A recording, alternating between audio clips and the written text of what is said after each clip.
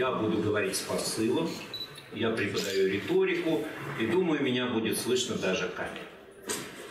А сидеть я буду потому, может быть, потому что я уже устал от двухлетнего исследования поколения Z, тем, кому сейчас мы решим техническую проблему. А они всегда возникают, эти технические проблемы. Поколение Z тем, кому до 23 сейчас, до 24, и поколение, которому после 23-24. То есть мы поговорим сегодня о вас. И не всем, возможно, понравится этот разговор. Потому что говорить я буду с научной точки зрения. Предыдущий докладчик говорил о универсалистском подходе и партикулярном подходе. Так вот, наука пользуется универсалистским подходом. И это неприятно. Как бы вся жизнь сжимается до каких-то схем. И человек не узнает себя. И многие протестуют, что это за тип, а это не я. Или, как говорили мне родители, э, моих объектов исследований. Да-да, они такие, но не мой. Только не мой сын и не моя дочь такая. Это вот они, его друзья. Поднимите, пожалуйста, руку, кто считает, э, кто выступает за универсальные ценности, кто за индивидуальные партикуляристские, партикуляристские ценности. Поднимите руку, кто за универсальные ценности. Три, четыре, пять, шесть, семь, восемь. Кто за индивидуально-партикулярные ценности?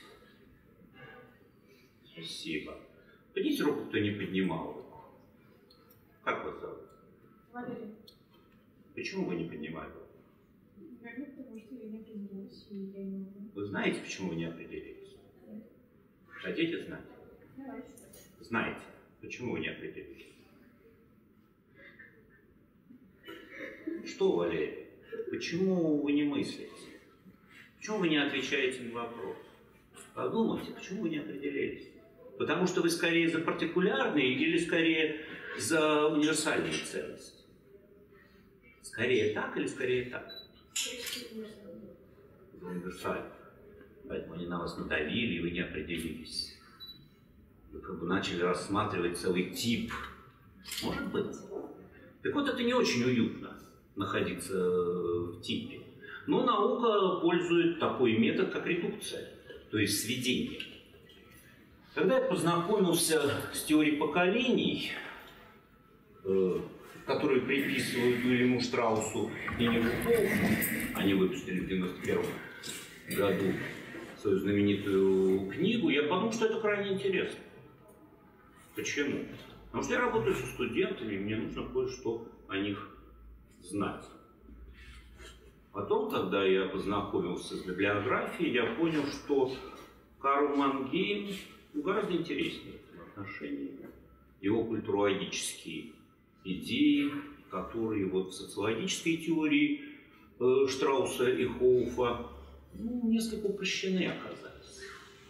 Я решил произвести культурологическое исследование поколения, то есть исследовать ценности через призму двух, по сути, вопросов. О чем вы мечтаете и чего вы боитесь. О чем вы, вы мечтаете, Валерий? Спасибо, понятно. Поднимите руку, кто может ответить. Как вас зовут? Сергей. Сергей. О чем вы мечтаете? Прожить счастливую, насыщенную жизнь. Знаете как? Или нет? Знаю. Вы счастливы? Да. Здорово. Но я привык не верить. Э, И с этим связан научный подход. То есть ты получаешь текст от своего респондента, от своего информанта и подвергаешь его анализу. Вот это я и делал для того, чтобы ответить на вопрос, о чем же действительно мечтают и чего же действительно боятся. Что такое поколение? Вот я даю такое рациональное определение поколения. Поколение – это не все те, кто родились в этот период. Поколение – это ядро вот этой выборки. Это те, кто подверглись э, обработке модными трендами. Ну, так или иначе, конечно, они коснуться могли всех, но кто-то мог остаться и вне их влияния. Тогда э, эти люди, ну, некорректно их назвать там поколением Z или поколением э, Y, или это периферия поколения. Я думаю, где-нибудь в отдаленном кишваке, наверное, нету Z, или там что-то свое. Все-таки это для урбанистических обществ, для городов, которые пронизаны буквально э, влиянием средств массовой информации, ис, волнами истории и культуры. И сопротивляетесь вы этому, или соглашаетесь, не имеет никакого значения. Это нельзя уже развидеть после того, как это случилось. Когда образовалось одно из поколений, э, поколение ядром которого было Хитлер, то причиной этого было то, что называют на Западе после бомбы. Понимаете, мир разделился до бомбы и после бомбы. Понимаете, какой бомбы? Бомбы «Малыш», которая была сброшена на два японских города. Как бы это уже забыть нельзя было э, современникам. И образовалась мощнейшая культурная субкультурная волна, волна противодействия, по сути, предыдущему поколению, отцам, которые вот так, в общем-то, легко играючись, уничтожили два города. Все-таки это беспрецедентный случай. Вот так, в, в сколько там, несколько минут.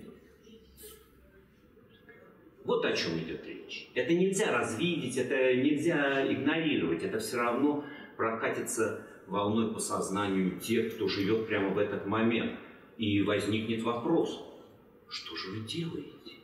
Отцы там или старшие братья, да? Потому что те, кто это делают, те, кто организуют культурные или исторические тренды, они ведь выступают с точки зрения универсальных ценностей. Понимаете это? Это не, как, э, не какие-то сумасшедшие, не какая-то партикулярная идея. Это же делалось, видимо, во, во имя великого какого-то добра и блага.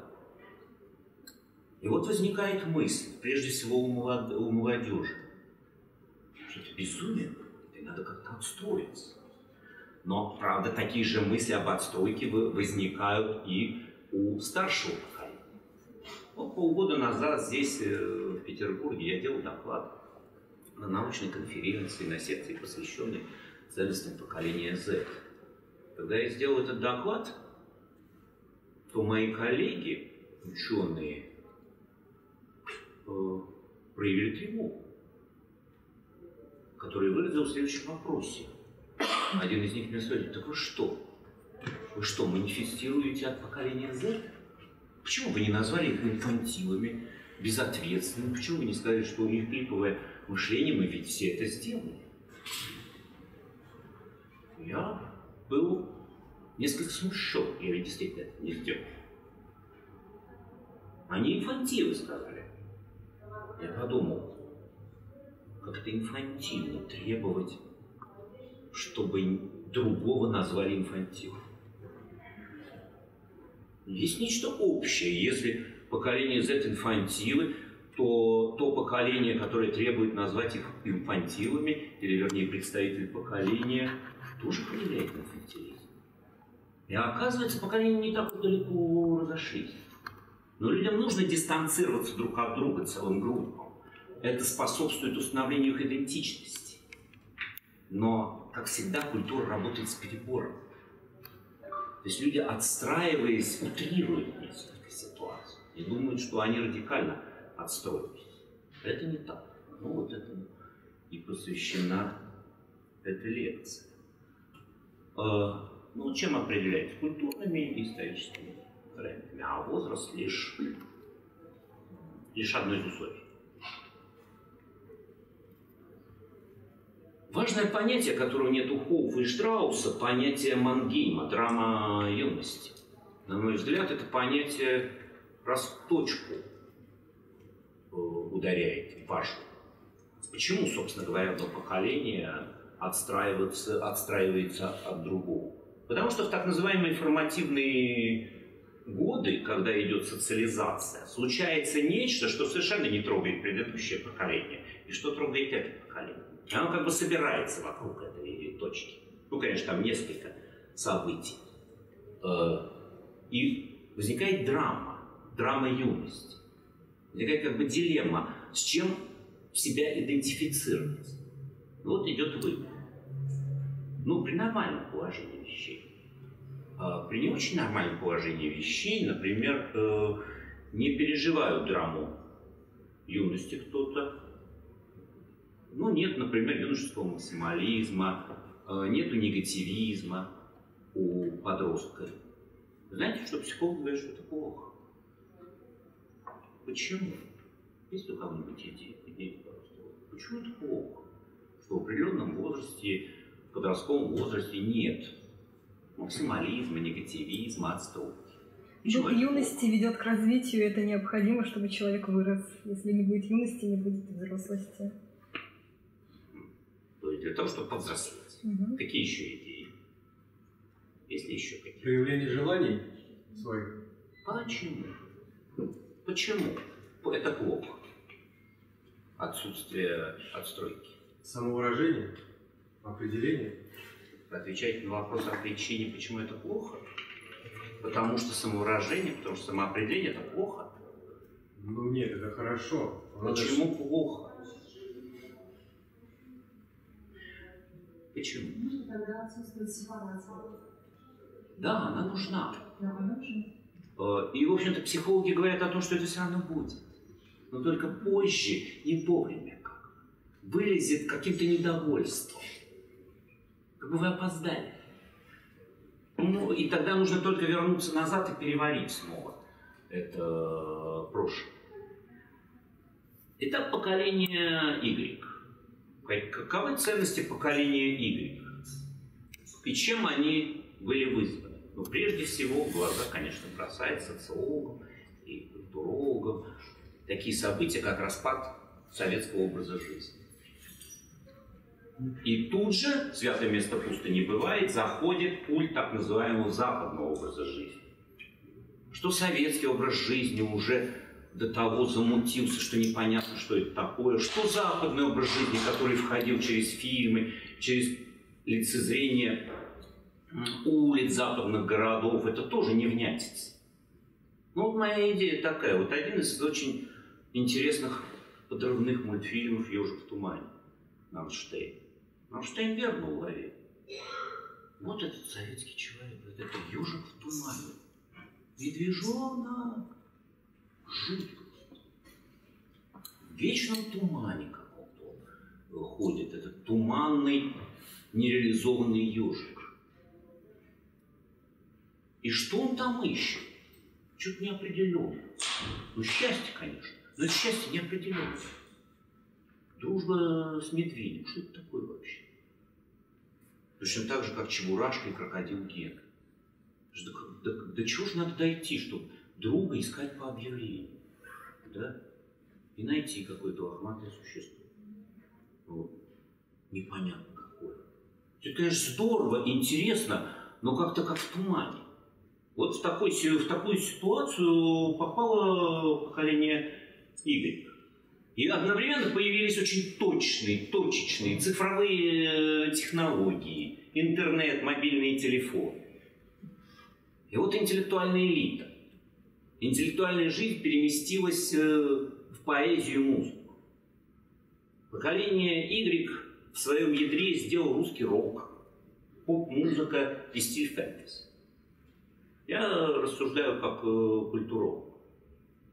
Я понимаю, конечно, сколько там будет комментариев под моей лекцией социологов. Какая у вас выборка? Сколько людей вы опросили? Это другое исследование, ребята. Это качественные исследования.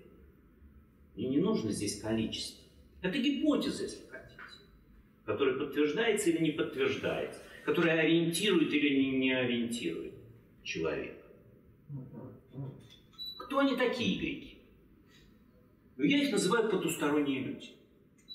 Ну, это те, кому больше 23. Да? Вот эти э, годы рождения 80-го, 95-го и некоторые даже до 2000-го продолжают. Потусторонние люди. Что это значит? Ну, чуть-чуть о предыдущем поколении X. Я их называю посусторонние люди. Это люди, которые живут и устраиваются в этом мире. У них нет фантазии практически. Это поколение, любящее власть. Игреки власти не любят. Особенно там государственный или какой-то социальный власть. Почему? Потому что она в этом мире. игреки не любят этот мир. Он какой-то не такой. Вернее, они думают, что где-то есть такой. Вот только что вас спрашивали. Швеция, Финляндия, эти мифические афирские страны. Скандинавские страны сегодня занимают первое место по э, психическим заболеваниям, например. Я думаю, это тесно связано с развитой потребительской культурой. Ну зачем эта информация? Она как-то портит общее впечатление. И вообще вся информация об этом мире какая-то противоречивая. И поэтому игреки уходят в свой богатый духовный мир. Они его там разрабатывают. Им в этом помогает фэнтези, рок. И розовые очки. Ну, только обращенные вовнутрь. Понимаете? И не, не только розовые, а разноцветные. Ведь это поколение, которое не терпит одного цвета. Оно, они хотят радуги, но, правда, получают черно-белую картинку часто. Потому что не так просто, как бы многогранно и многоаспектно видеть. Для этого все-таки нужно хотя бы одним глазом оставаться в этом мире, одной ногой стоять э, здесь. Но это кое-кто смог, те, кто бизнесом занимались и так далее. Но даже среди бизнесменов, своих информаторов, я встречаю вот это очень частое погружение в какой-то не виртуальный, а какой-то фантазийный мир. И они с пеной у рта пытаются проводить какие-то исторические данные, хотя видно, что человек плавает сейчас где-то в потерянном рае. Ну. Отсюда вот это богоискательство, э, Бали, Гуа, дауншифтинг и так далее. Игреки – это творцы новой постсоветской реальности. Именно они сделали Рунет, то, что мы видим в русском интернете. Да, они совершили две диванных революции, я их называю. Это нужно отдавать себе отчет, что такое революция. Революция – это традиционно, это смен, смена политического и экономического строя. Нет таких революций. Что там, капитализм на что-то, что ли, меняет? Это так называемый, ну, иногда говорят, бархатный, но игреки совершили две диванных э, революции, на бархатных э, диванах. Потребительская революция менеджеров. То есть они все-таки сумели завести ценности потребительского общества в каком-то, на минималах, то, что называется.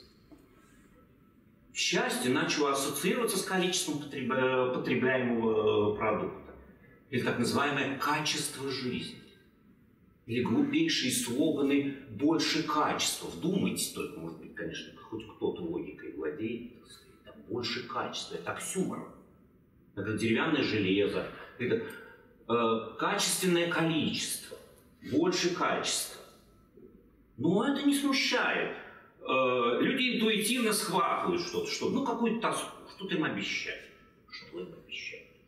Если вы слышите, это уникальный йогурт, бегите от этого текста. Что за уникальный йогурт? 10 миллионов экземпляров. Это уникальный йогурт, это уникальный крем. Уникальный унум – это один. И так далее. Но это моя больная тема, я логикой с людьми занимаюсь. Это безумие логическое. Но это интересное безумие, это безумие, которое позволяет э, жить, строить свой богатый внутренний мир. Но правда, игреки запутались и впали в ресентимент. Они сидят теперь в Фейсбуке и ноют на погоду, э, благоустройство. Они борцы с, Путиным абсолютным, э, с некультурностью, со всеми этими исчадьями мирового зла. Ну, такие диванные борцы. Ну, а это подпитывает, это дает энергию, это креативный класс, так называемый. Ну, эстетическая революция цифровых дизайнеров была совершена. Вот этот богатый внутренний мир, технические средства позволили вынести наружу виртуальную реальность. Игреки сделали виртуальную реальность интернета и породили феномен геймера. Гейминга и геймера. Вплоть до того, что в Японии это э, хитки, да, те, которые вообще уже не могут выйти. То вот это и есть квинтэссенция потусторонних людей, хитки. Те, которые ушли туда, и сюда они даже уже не выходят из своей комнаты. То есть это новая ситуация, когда богатый духовный мир каких-нибудь начитанных, надуманных людей смог выползти наружу, но не в физическое пространство, а виртуальное пространство. И люди там завязли, многие. А, ну, то, о чем я говорил. И, и скопировали потустороннюю реальность. А здесь они немного похожи фрики такие. Вот. Я говорю обо всех. Опять я настаиваю, я говорю о ядре, о культурном ядре. Может быть, кому-то пока что это как раз не культурное ядро. Культурное ядро – это вот такие нормальные, успешные люди. Нет в культурологическом смысле слова. Поколенческое ядро – это как раз вот те, кто кажутся маргиналами в каком-то социологическом смысле слова. Речь идет о культурологическом подходе. Это герои потусторонних миров, вымышленных миров. Поэтому как бы все время какие-то драконы говорили это. И, знаете, фильм «Аватар», я думаю, вот если кто видел, вот такая концентрация этой, этих мечт, что называется. Z. Я их называю бесчувственные романтики. Почему романтики? Потому что они живут уже, в отличие от игроков, стараются жить в двух мирах. И вот мои информанты многочисленные, я уже устал от чтения соцсетей, просмотра сериала «Скам» и прочих э, прелестей, культурных прелестей поколения Z. Так вот, э, они бывшие геймеры. Это очень важно, когда я спрашиваю своего информанта, ты геймер? То ответ очень частый, нет, но да, но это не точно. Бывший геймер, бывшая, бывшая геймер. Я не знаю, я пока не пользуюсь этими феми, феминистскими штучками. Кто она? Геймерка, так сказать. Бывшая геймерка, геймерша. Так вот, они из бывших игреков. О чем это говорит? Ну, более осторожно Они поняли, что можно завязывать но у них уже нет вот страсти первооткрывать. Там уже достаточно скучно. Я как-то делал доклад для одной рекламной компании крупной. Мне задавали вопросы, почему заш, зашел дизайн игры Майнкрафт? Когда мы отрисовываем такую хорошую графику, вкладываемся и так далее, что это за чушь, э, этот дизайн? Простор для фантазии. М? Простор для фантазии и мозг зарисовывает. Ну, моя гипотеза примерно такая же, как и ваша. Моя гипотеза такая. Это до некоторой степени такой пассивный протест. Я им сказал, вы, они устали от насилия, вашей красоты, ваших мощных образов. Они не оставляют никакого места для творчества, для фантазии. У них все забито. Они забивают всю лугу, они сами там располагаются, начинают действовать. И что? Ну вот это как бы следующее более осторожное поколение. Они как бы говорят, ну дайте нам что-то свою комнату, где как-то ну, минимализм пустота какая-то, одна табуретка стоит. И там можно там хотя бы, я не знаю, поиграть в свои танчики какие а не то, что вы придумали. И втащили в эту воронку очень мощных, по сути, кинематографических э, образов. До некоторой степени эта история кончилась, и нужно это понимать. И когда я сделал эксперимент и показал так называемую медленную рекламу Y и Z, знаете, что есть такая реклама? Там пять минут человек красит забор, стоя спиной, ничего не происходит. Шур, шур, шур, шур. И потом я, помните, курил, и там баночка краски. Так вот, Игреков колбасило буквально. Они смеялись, и ругались, и так далее. Зеты сидели как завороженные. Когда моя знакомая редактор Сбербанка, я ей написал об этом, она мне прислала из интернета э, ссылку, где ролики, десятки тысяч просмотров. Стоит камера и снимает лужу. Лужа. Ничего не. Лужа, рябь какая-то по луже. Люди сидят и смотрят. Понимаете? А где же вот это, вот все, ночь пожирателей рекламы и так далее? Не надо так, как говорит вот эта религия. Не надо так. Хватит, оставьте нас в покое. Самый встречающийся ответ на мой вопрос, о чем ты мечтаешь, это ответ о покое. Покой. Вот о чем э, мечтают. Может быть, не поздний Z, но ранний Z. Странно, 20 лет мечта о покое. Потом я иду по пабликам и смотрю, тысячу людей постят картинки домиков э, в лесу и пишут, вот здесь я встречу свою старость. Мечта о старости. Почему? И говорите, этого не могут понять. Как же, молодость там. Устали. Покой.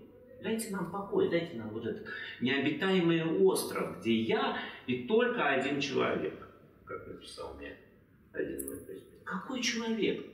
Спросил я. Какая разница? Все фигня, все фигня. Только ты и я, только ты и я. Да и ты фигня. Только я. Это цитата из песни. Но она не закончена. Потом ее надо закончить так. Ты и я фигня. Только нас. Ну, это как бы в экстремуме, да, утрируя. Я, конечно, утрирую, может быть, не узнаете себя, но посмотрите, не задевает ли хвостом эти тенденции, эти тренды. Я, конечно, работал только вот с этой культурной элитой, то есть те, кто доходят до конца, что называется, в этих построениях, в этих мыслях. А почему так случилось? Ну, во-первых, ослабление социальной динамики. Это то, во что погружены. Ведь ничего не происходит. Откройте новости, посмотрите. Вот не случайно борьба против фейковых новостей. Да ничего не происходит просто. Приходится придумывать. Чушь какую-то, ерунду. Каких-то мух ловить везде. Ничего не происходит. Более того, Зетов и не интересует вот это вот э, все. Это уже, они, э, российские Зеты уже вполне похожи на американских подростков, с которыми я э, общался ну, достаточно давно уже. Их вообще не интересует эта мировая политика, что там, где там, какие-то там страны. Господи, да вот в Нью-Йорк уехать из нашего проклятого городишки. Вот мечты американских э, подростков, с которыми я общался. Ну, примерно так же и теперь и здесь. А может, мечта о покое это как возвращение в лес, чтобы потом из этого исчерпать что-то и вернуться с чем-то фундаментальным и целостным вот, в общество? Может быть, но нет, нет времени вернуться. Куда еще надо идти? До леса до этого. И там обосноваться, покачаться в кресле качалки около камина, на худой конец в шалаше и так далее. Вернуться? А зачем? Проявляется тенденция э, к индивидуализации крайней, к одиночеству даже, если хотите. Я скажу об этом э, позже. Бесчувственные романтики живут в двух мирах. Э, они осваиваются и там, и здесь. Это коммуникабельное поколение. Они легко найдут общий язык и о, богатом внутреннем э, мире, и в разговоре здесь, э, сейчас, о, каких, о моде, там, я не знаю, даже социальных э, э, проблемах. Я вот сейчас ехал сюда, около часа на автобус, напротив меня сидел ранний Z, я уже угадываю это. Он, без, он час говорил без перерыва со своим знакомым. Без перерыва. О чем? Обо всем. Какая-то особая коммуникабельность. Коммуникабельность без всякой цели. Так называемая фатическая коммуникация. Знаете, фатическая коммуникация выглядит примерно так. How do you do? How do you do? То есть нет цели. А есть одна цель – поддерживать, вот быть на волне. Просто э, качаться в этих волнах. Это само по себе э, привлекательно. Другой случай, вот так же они сидели друг напротив, друг разговаривали, разговаривали, им сделали замечание э, маршрутном такси. Лояльное поколение. Они замолчали и начали ногой друг друга доставать. Доставали ногами друг друга, так сказать. Здорово, подумали, изобретатели. Они будут делать то, что они хотят, и готовы строиться в правила. И не в какие-то всеобщие правила. Где они, эти всеобщие правила? Что это за бла-бла-бла? Они бы должны быть, но их нет. Конечно, можно еще мечтать, что где-то в Швеции там они есть. Почитайте Насима Талеба. Посмотрите в Википедии, что такое диктатура меньшинств и так далее. Что вы говорите? Какая глобализация? Глокализация. Меньшинства в разного рода диктуют свои правила, и приходится их э, балансировать. Я думаю, что нужно сохранить какие-то общие правила. Ну, хотя бы правила формальной логики, хотя бы, да. Ну, юриспруденция там бьется. Но представляете, что делают уже законодатели? Что они делают? Что это за уже совершенно конкретные законы, которые пытаются отрегулировать все, вплоть до там цвета стен или еще что? Зачем это? Что это за отчаяние такое? Займитесь общими вещами, принципами права, права там и какими-то... Нет, вы хотите все инструкции понаписать. Стоять мне читать лекцию, сидеть мне читать лекцию или еще что. Ну вот общие черты. Все-таки они есть. Креативность. И то, и другое поколение креатив. Игреки, со... Игреки создали интернет, но сейчас есть плохие новости для игреков. За это отжимают.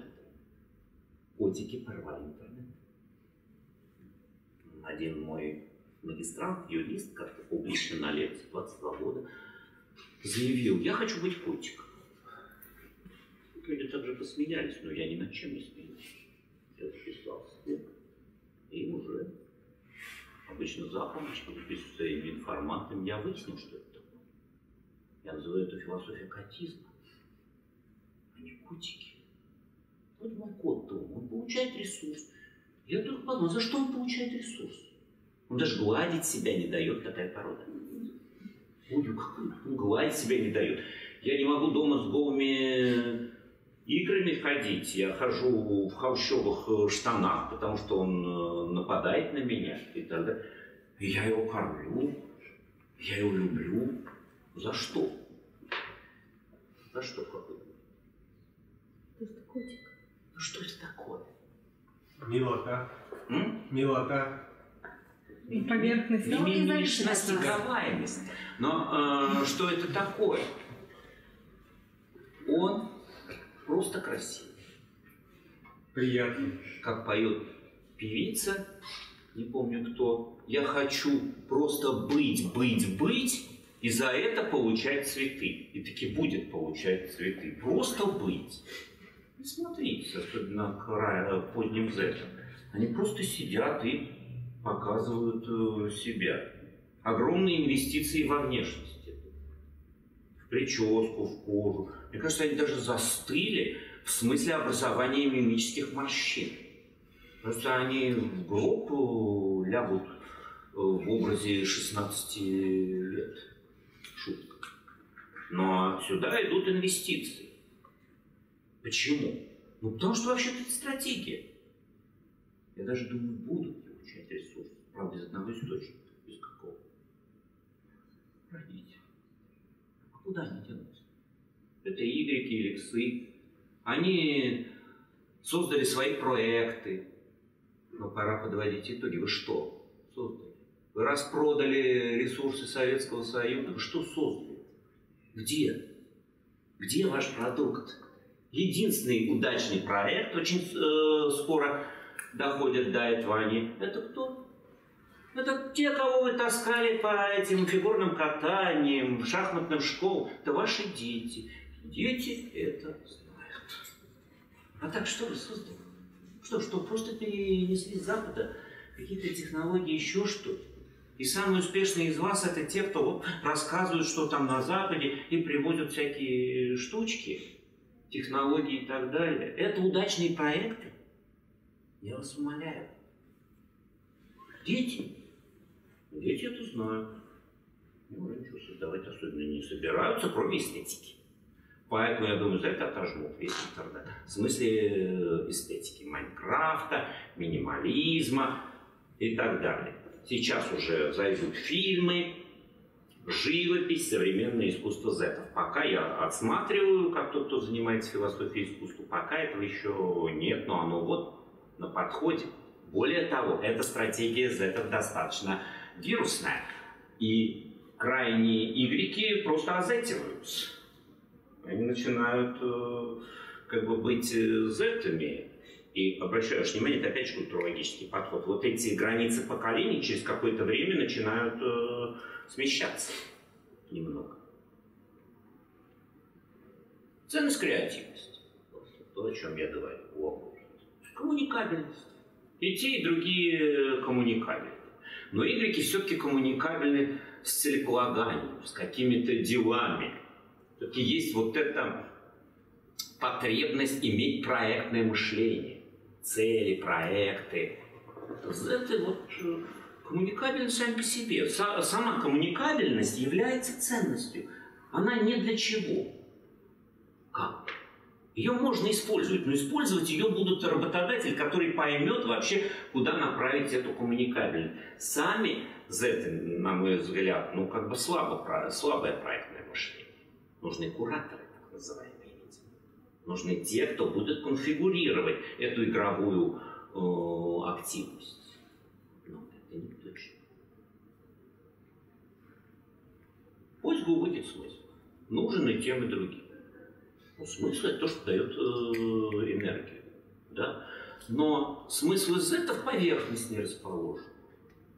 И поэтому они больше добьются результатов в смысле связывания этих смыслов в какие-то э, цепочки. Они серф, они занимаются серфингом, а не дайвингом, как э, игреки. Вот это разница, но это и общее. То есть внутри общего небольшая разница в поиске э, смысла. Поэтому вот э, растет рынок лекций. Закрывают ночные клубы. Я, как тот, кто занимается этим, могу сказать, в общем-то, вот произошло перетекание из ночных клубов э, в лектории в библиотеки. Ну, это хорошо. Потому что вообще все хорошо. Неприятие внешнего социального контроля есть и у тех, и у других. Но если у Y есть неприятие, но еще нет структур отторжения социального контроля, то я внешнего, то я боюсь, что у Z уже наросли психические структуры. Например, есть программа AdBlock, вы знаете, да? Y придумали программу AdBlock, чтобы наконец-то защититься от самого тоталитарного, агрессивного инструмента, как пишут французские культурологи нашего времени рекламы новости, но для западной культурологии это общее место. Никаких других эпитетов для рекламы, кроме тоталитаризм, уже не, не применяется. Вот. А, есть программа отбор, которая вырезает рекламу. За этим уже не надо, у них в сознании программа отбор. Они просто не распознают. Есть плохие новости очень для рекламного бизнеса. Работает, видимо, будет какое, через какое-то время работать будет только вирусная реклама. Знаете, что такое вирусная реклама? Когда по своим друзьям распространяется. Ну вот, это не точно. Но я думаю, что даже таргетная реклама будет. Потому что психика тупить начинает. Как только начинаются какие-то влиятельные образы, слова, Медики этого не могут понять. Психика за это просто начинает тупить. Переходит в какой-то совершенно спящий режим. А кажется, что оно там проходит и так далее. Но там какие-то другие процессы идут. Но вот этот мем, ну, это зетовский. А что если я скажу, что никому не нужен твой богатый внутренний мир? Как бы такая тревога. Давай на выход хотя бы. Хотя бы иногда выходи из дома, присматривайся как-то к этому миру. А то там написали, что это матрица и так далее. А что там, куда ты уходишь, там ты, ты живешь, там что? Не матрица? Там твоя индивидуальность, что ли? Да там печати негде ставить, это просто внедренные программы. Ну, правда, через поп-культуру, да, через какие-то, через искусство, а не через вот э, внешние социальные регуляторы. Ну какая разница? Там то же самое. Не делай ошибки, не выходи из комнаты. А, за, а застрять в комнате нельзя?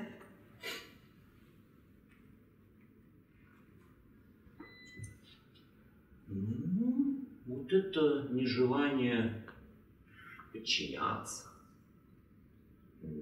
желание избавиться от социального контроля в каком-то экстремуме при развитии приводит вот к достаточно логичному, циничному выводу, который вот здесь отражен на этом зетовском э, меме. Masturbation never breaks your heart. А кто разрушит? Люди. Люди. Возникает э, феномен сексуальности. Что это значит? Это не отсутствие влечения, даже не отсутствие э, сексуального объекта. Это значит, что сексуальный объект это больше не люди. А кто? Виртуальный персонаж. Трафик порно-сайта зажигает. Знаете, это, я это называю крайним индивидуальным. Это проявление крайнего индивидуализма. Люди слишком опасны, слишком сложны, считает эта программа. Это ошибка, но это прагматика. Слабые сердца, которые можно разрушить. Ну вот скорее игрековский мем «любви нет, идите спать». Потому что здесь есть ирония, здесь нет никакой иронии просто принцип э, прагматический. То есть в данном случае я заканчиваю вот этой проблематизацией.